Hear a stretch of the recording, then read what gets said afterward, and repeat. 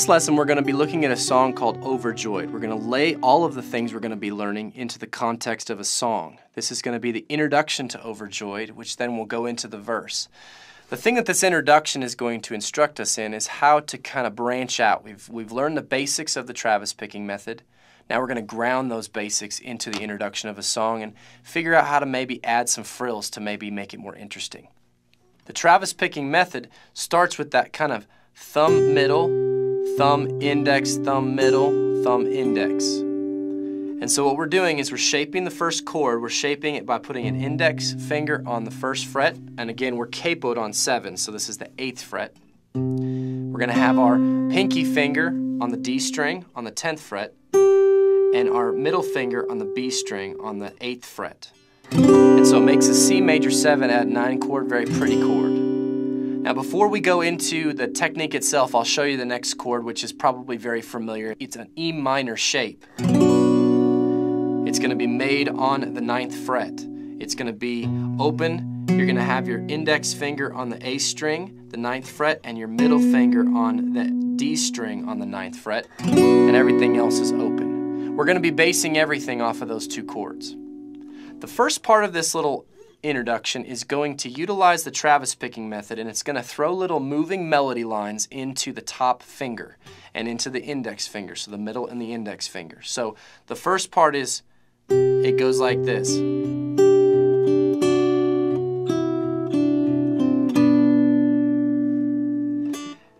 So we're going to have this picking method that's very basic here. And a way to kind of break this down is just kind of get this moving. And then slowly lift up that middle finger. Put it down. So you'll see I'm just inserting it into the pattern itself. And then you can lay down other fingers. So we got this bum. Lay down the ring finger on that G string, 9th fret.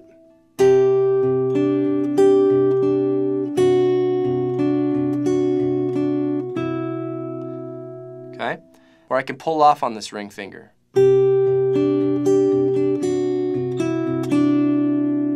Okay, so I'm just lifting that up and hitting my middle finger again. And then I'm going to fall to my index finger, which lands on that D string there.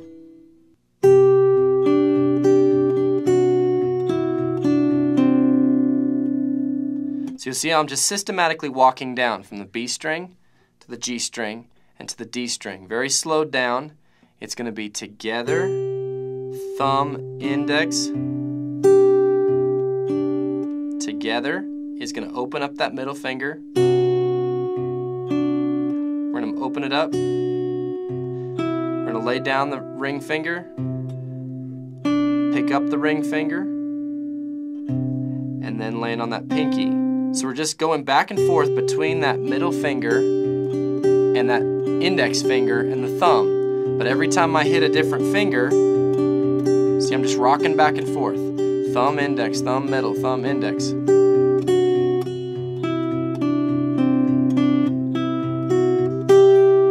Every time I go, I'm just changing notes. Very easy way to incorporate melody. So, we're still keeping that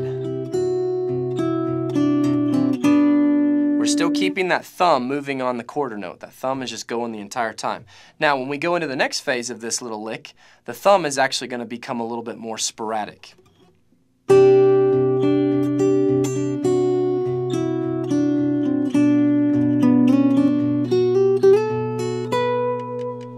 And what we're utilizing here, we're landing on a B minor chord and we're utilizing what are, what are called passing tones. So we're passing between tones in that chord and we're using little complementary tones to make a little bit of an interesting sound. So here's how the, the whole thing runs together.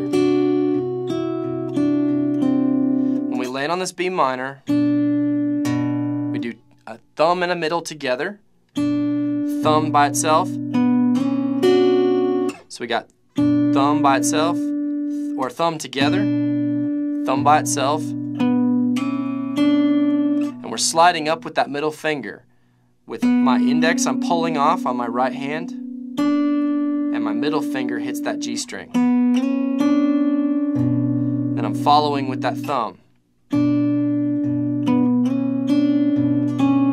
Okay? Now I'm going to hit that thumb in between, and now I'm going to jump up to my G string, and I'm going to hit the 11th, 12th, and then I'm going to hit the 14th fret.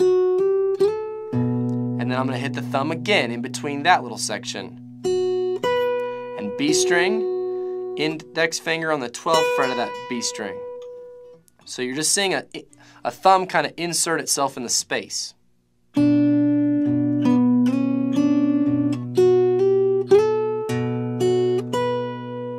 Once again.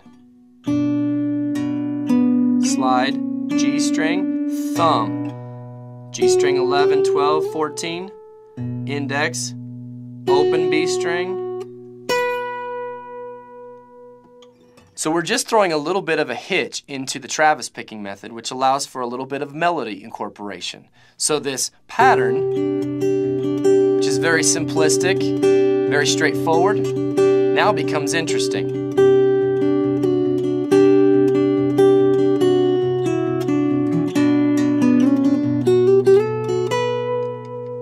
So another thing that you can do with the Travis picking method is replace your thumb with the pick itself. And this is going to just help when you go into verse sections and chorus sections so you don't have to either place a pick up here or on your knee or something like that. It just makes it easier to transition between sections of a song. So what I, all I'm really going to do, I'm going to keep the same fingering, the same toggle back in between, between my thumb and my fingers, but when I throw that pick in there, it's going to utilize more my middle finger and my ring finger now rather than my index and middle. I'm taking that index away. So the middle is replacing the index, the ring is replacing that middle. And this is what it sounds like.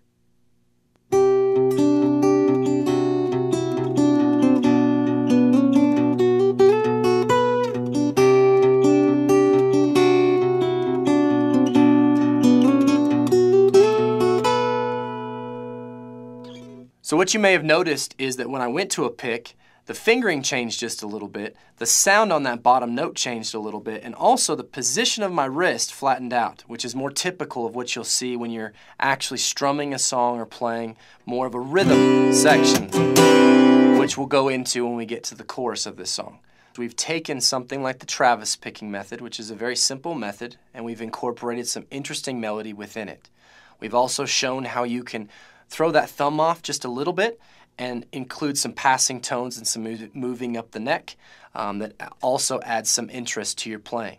Then we threw in another variable, which adding the pick throws in a different fingering. It throws the wrist down a little bit and adds a little bit more color to your playing as well. This should keep you busy um, practicing.